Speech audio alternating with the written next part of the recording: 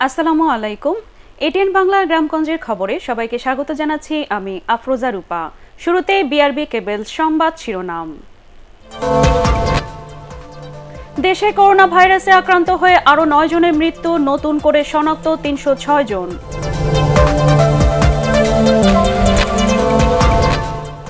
নারায়ণগঞ্জে করোনায় আক্রান্তের সংখ্যা বেড়ে দাঁড়িয়েছে তিনশো এক জনের। ট্রাকের নগরী ছাড়ার সময় আটক দুই শতাধিক।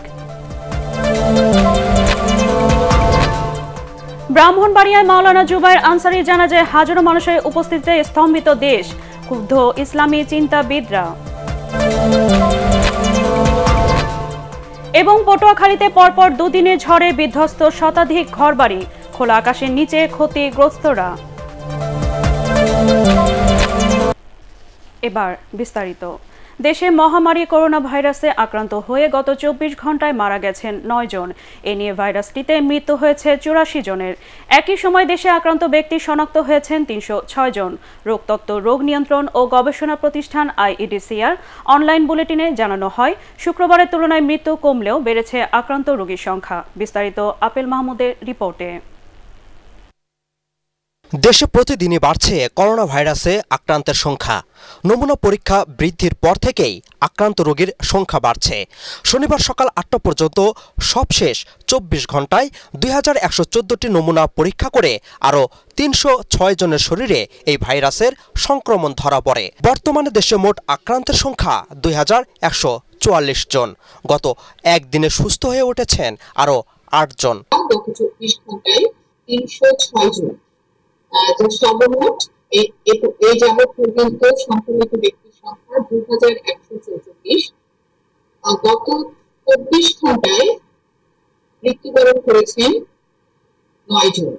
তবে উদ্বেগের বিষয়, বর্তমানে সবচেয়ে বেশি আক্রান্ত হচ্ছেন তরুণরা, আর মোট আক্রান্তের বেশিরভাগই পুরুষ।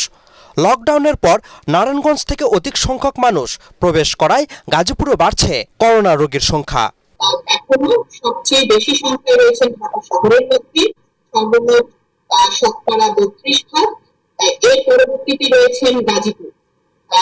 আমরা নতুন একটা সংক্রমণের এলাকা এখন দেখতে পাচ্ছি গাজীপুর। আমরা ইতিমধ্যে আপনাদেরকে জানিয়েছিলাম যে প্রথম থেকে গাজীপুরে যে সমস্ত রোগীরা ছিলেন তারা বেশিরভাগ সংক্রমণ ছিল তারা বেশিরভাগ নারায়ণগঞ্জ থেকে গেছেন। নতুন করে যুক্ত হওয়া যশোর বিজ্ঞান ও প্রযুক্তি বিশ্ববিদ্যালয়ের ল্যাবের মাধ্যমে নমুনা পরীক্ষা শুরু হয়েছে বলে জানিয়েছে স্বাস্থ্য অধিদপ্তর। আমাদের উনিশটি ল্যাব, যশোর বিজ্ঞান ও প্রযুক্তি বিশ্ববিদ্যালয় আমাদের ল্যাবের সাথে যুক্ত হয়েছেন এবং আমরা এখানে জানাতে চাই যে যশোরের, যশোর জেলা এবং তার আশেপাশের জেলাগুলি থেকে যেমন ঝিনাইদহ, নড়াইল, এইসব জেলা থেকে এখন যেগুলো নমুনা সংগৃহীত হবে সেগুলো যশোর বিজ্ঞান ও প্রযুক্তি বিশ্ববিদ্যালয়ে পরীক্ষা করা হবে। করোনা বিস্তার রোধে আবারও সবাইকে বাড়িতে থাকার আহ্বান জানায় আইইডিসিআর। আপেল মাহমুদ এটেন বাংলা, ঢাকা। নারায়ণগঞ্জে করোনা ভাইরাসে মারা গেছে আরও পাঁচজন। এ নিয়ে জেলায় মৃতের সংখ্যা দাঁড়িয়েছে চব্বিশ জনে। আর করোনায় আক্রান্তের সংখ্যা তিনশো এক। ট্রাকে করে শহর ছাড়ার সময় দুই শতাধিক লোককে আটক করেছে নারায়ণগঞ্জ পুলিশ। আর বরিশাল ও শরীয়তপুরে গত চব্বিশ ঘন্টায় করোনা ভাইরাসে এবং এর উপসর্গ নিয়ে মারা গেছে চারজন। বিভিন্ন স্থানে আক্রান্ত হয়েছে বেশ কয়েকজন চিকিৎসক, স্বাস্থ্যকর্মী। প্রতিনিধিদের তথ্য ও ছবি নিয়ে রিপোর্ট করছেন মইনুল আহসান। দিন দিন ভয়াবহ হয়ে উঠছে নারায়ণগঞ্জের করোনা পরিস্থিতি। শুক্রবার থেকে পরবর্তী চব্বিশ ঘন্টায় শুধু এ জেলাতেই ভাইরাসের আঘাতে প্রাণ হারিয়েছে পাঁচজন। এ নিয়ে নারায়ণগঞ্জে মৃতের সংখ্যা দাঁড়িয়েছে চব্বিশ জনের। এর মধ্যেই শনিবার নারায়ণগঞ্জের কয়েকটি গার্মেন্টস শ্রমিকরা বকেয়া বেতনের দাবিতে শহরে বিক্ষোভ করে। আইনশৃঙ্খলা বাহিনী কঠোর অবস্থানে থাকলেও শহর এবং অলিগলিতে জনসমাগম লেগেই আছে। এদিকে শুক্রবার রাতে পাঁচটি পণ্যবাহী ট্রাকে করে দুই শতাধিক লোক শহর ছাড়ার সময় পুলিশের হাতে আটক হয়। শহর ছাড়তে গিয়ে এ নিয়ে গত এক সপ্তাহে প্রায় দুই হাজার শ্রমিক আটক হলো। বরিশালে করোনায় আরও একজন মারা গেছে। আক্রান্ত হয়েছে ডাক্তার, নার্স সহ সাতজন। এছাড়া করোনা উপসর্গ নিয়ে হাসপাতালে মারা গেছে এক রোগী। তার বাড়ি পিরোজপুরের কাউখালীতে। এ নিয়ে বরিশালে করোনা রোগীর সংখ্যা সতেরোতে দাঁড়িয়েছে আর মারা গেছে দুজন। জেলা শরীয়তপুরের নড়িয়ায় করোনা উপসর্গ নিয়ে হোম কোয়ারেন্টিনে থাকা এক নারী এবং এক যুবকের মৃত্যু হয়েছে। তাদের নমুনা সংগ্রহ করে ঢাকার আইডিসিআরে পাঠানো হয়েছে। ঠান্ডা, জ্বর, কাশিসহ করোনা উপসর্গ নিয়ে জেলায় মারা গেল চারজন। শেরপুরে দুই চিকিৎসক ও এক পুলিশ কর্মকর্তা সহ ছয়জন করোনা রোগী শনাক্ত হয়েছে। শেরপুরে মোট পনেরো জনের শরীরে করোনা ভাইরাস শনাক্ত হলো। এ ঘটনায় বত্রিশ স্বাস্থ্যকর্মী সহ শতাধিক ব্যক্তিকে হোম কোয়ারেন্টাইনে পাঠানো হয়েছে। এদিকে ঝালকাঠি, রংপুর টাঙ্গাইল সহ বেশ কিছু জায়গায় লকডাউন অমান্য করে প্রয়োজন অপ্রয়োজনে রাস্তায় ঘোরাফেরা করছে মানুষ। ভ্রাম্যমাণ আদালত বসিয়েও ঠেকানো যাচ্ছে না রাজপথে মানুষের আনাগোনা। পুলিশের পাশাপাশি এসব জেলায় সামাজিক দূরত্ব নিশ্চিত করতে কাজ করছে সেনাবাহিনী। রাঙামাটিতে দুই শত হতদরিদ্র পরিবারের মাঝে ত্রাণ বিতরণ করেছে সেনাবাহিনী। সেনা সদস্যদের একদিনের রেশন থেকে এসব ত্রাণ বিতরণ করা হয়। এছাড়া করোনা সংক্রমণ প্রতিরোধে রাঙামাটিতে সেনা সদস্যরা জনসাধারণের মাঝে মাস্ক আর শুকনো খাবার বিতরণ করেন। ময়মনসিংহ শহরের ছত্রিশ বাড়ি কলোনির পঞ্চাশটি পরিবারের মাঝে শুকনো খাবার মাস্ক ও হ্যান্ড স্যানিটাইজার পৌঁছে দিয়েছে সেনাবাহিনী। এই দুর্যোগকালীন সময়ে দরিদ্র মধ্যে সদর দপ্তর আপডেটের মানবিক সহায়তা কার্যক্রম চলমান থাকবে। ময়ুল আহসান এটিএন বাংলা। দেশ জুড়ে ধর্মীয় সহ সব ধরনের জনসমাবেশ নিষিদ্ধ হওয়ার পরও ব্রাহ্মণবাড়িয়ায় খেলাপথ মজলিসের নায়েবে আমিরের নামাজে জানাজায় ব্যাপক উপস্থিতির ঘটনায় হতাশা প্রকাশ করেছে ইসলামী চিন্তাবিদ সহ সব মহল। এতে দেশের করোনা ঝুঁকি বহুগুণে বেড়ে গেছে বলে মনে করেন তারা। ব্রাহ্মণবাড়িয়ার প্রতিনিধি ইসহাক সুমনকে সাথে নিয়ে রিপোর্ট করছেন ফজলে রাব্বি। জানাজাকে ঘিরে এমন গণজমায়েত প্রশ্নের মুখে ফেলেছে। করোনা সংক্রমণ থেকে বাঁচতে সরকারি সাধারণ ছুটি ও সারা দেশের কোটি মানুষের ঘরবন্দি থাকা। দেশ জুড়ে করোনা সতর্কতা জারির মধ্যে এমন জমায়েতে হতাশ ইসলামী চিন্তাবিদরা। ছোট্ট করে জানাজা হোক তাও চাইছিলাম। কিন্তু এরপরও আমাদের অজান্তে নিজেদের ওই ভক্তি শ্রদ্ধা নিয়ে মানুষ নিজের থেকে জমা হয়ে গেছে। কি পরিমাণে তাও আমরা দেখি নাই। জনস্বাস্থ্য নিশ্চিতকরণ এবং জনগণের সুরক্ষা নিশ্চিত করার লক্ষ্যে জানাজা সহ সকল ক্ষেত্রে জনসমাগম না করা এবং সামাজিক দূরত্ব বজায় রাখা নিশ্চিত করার জন্য সকলকে উদাত্ত আহ্বান জানাচ্ছি। শনিবার সকালে ব্রাহ্মণবাড়িয়া সরাইলে বাংলাদেশ খেলাফত মজলিসের নায়েবে আমির মৌলানা জুবাইর আহমেদ আনসারির নামাজে জানা যায় জড়ো হয় অন্তত ত্রিশ হাজার মানুষ। এতে আতঙ্ক ছড়িয়েছে সারা দেশের সাধারণ মানুষের মধ্যে। তাদের অসাবধানতা এবং অসচেতনতার কারণে কিন্তু একটা ব্রাহ্মণবাড়িয়া কিন্তু একটা বড় বিপর্যয়ের দিকে আমরা, আমি মনে করি যে আমরা ধাবিত হলাম। তাদের প্রশ্ন, কীভাবে প্রশাসনের সামনে এত বড় গণজমায়েত হয়ে গেল? তবে পুলিশ বলছে, খেলাফত মজলিসের শীর্ষ নেতারা জনসমাবেশ করবেন না বলে কথা দিয়েও শেষ পর্যন্ত তা রক্ষা করেনি। মাওলানা আনসারি ইন্তেকাল করেছেন। তখন থেকেই আমরা যে ধর্মীয় যে নেতা রয়েছে, তাদের সাথে আমরা যোগাযোগ করেছি এবং যোগাযোগ করে যে বর্তমান পরিপ্রেক্ষিতে যে করোনা কি কারণে ছড়ায় এবং যে সামাজিক দূরত্ব বজায় রাখার যে বিষয়গুলো এবং গণজমায়েত না করার যে সরকারি নির্দেশনা রয়েছে এবং সারা পৃথিবীতে যেটা অনুসরণ করছে, সেই বিষয়গুলো সম্পর্কে তাদের সাথে যোগাযোগ করি আলো আলোচনা করি এবং তারা যেন সেই বিষয়টা মেনে চলে, সেই জন্য তাদেরকে বারবার আহ্বান করি। হয়তো তারা ভিতরে ভিতরে কেউ যোগাযোগ করতে পারে, অসম্ভব কিছু না। যোগাযোগ করতে পারে, যোগাযোগ না করলে এত মানুষ সেখানে কোনো কথা না।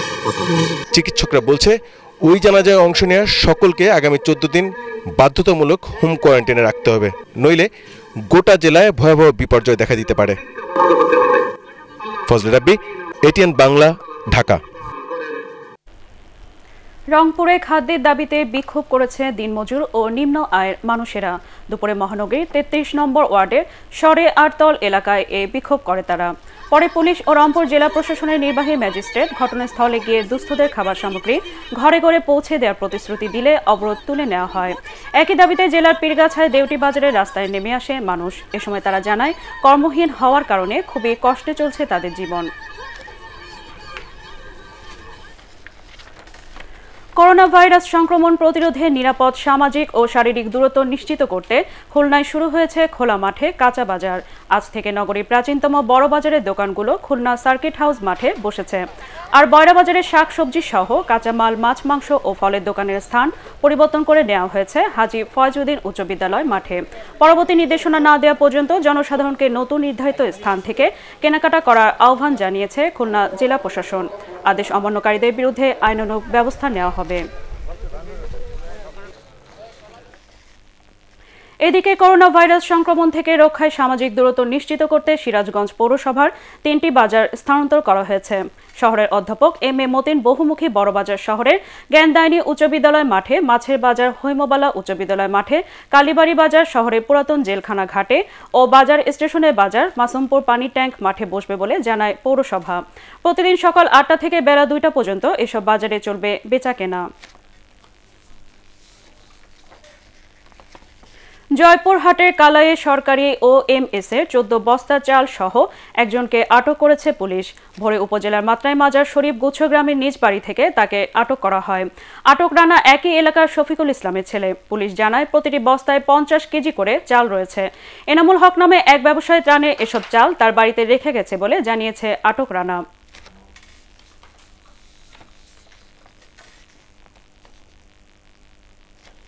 দেশের বিভিন্ন এলাকায় সরকারি চাল লুটের প্রতিবাদে ও চাল চোরদের গ্রেফতার এবং শাস্তির দাবিতে বরিশালে প্রতিবাদ মিছিল ও মানববন্ধন করেছে জেলা বাসদ।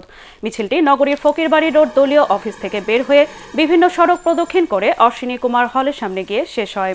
এ সময় স্বাস্থ্যকর্মী, পুলিশ ও সাংবাদিক সহ করোনা মোকাবেলায় নিয়োজিতদের ঝুঁকি ভাতা প্রদান ও কৃষি ঋণ মৌকুফের দাবি জানান মিছিলকারীরা।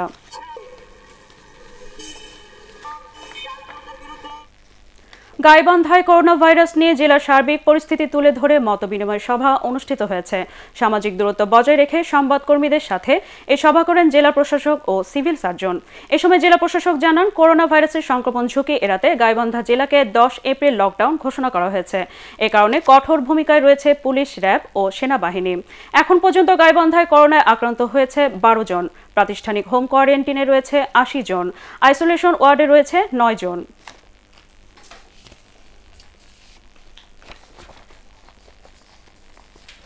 নওগাঁয় পানি উন্নয়ন বোর্ডের সিবি এর উদ্যোগে করোনা ভাইরাসে কর্মহীন তিন শতাধিক পরিবারের মাঝে খাদ্য সামগ্রী বিতরণ করা হয়েছে।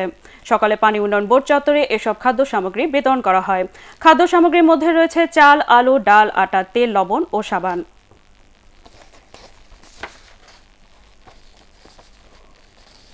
বান্দরবানে পার্বত্য মন্ত্রণালয়ের মন্ত্রী বীর বাহাদুর ও উষই সিং এর ব্যক্তিগত উদ্যোগে হতদরিদ্রদের মাঝে খাদ্য সামগ্রী বিতরণ করা হয়েছে। সকালে জেলা শহরের রাজার মাঠে পাঁচ হাজার মানুষের মাঝে এসব খাদ্য সামগ্রী বিতরণ করা হয়। জেলা প্রশাসক দাদুল ইসলাম ও পৌর মেয়র মোহাম্মদ ইসলাম বেবি সহ স্থানীয় আওয়ামী লীগ নেতারা এ সময় উপস্থিত ছিলেন।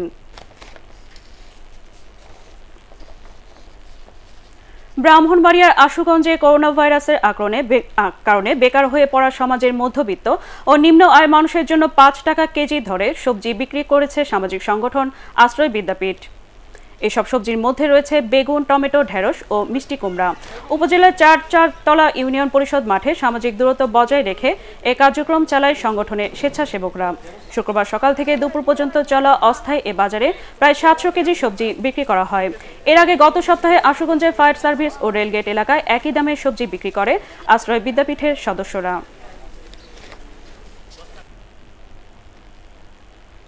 দর্শক, পরবর্তী সংবাদ দেখার আমন্ত্রণ জানিয়ে এখনকার মতো শেষ করছি।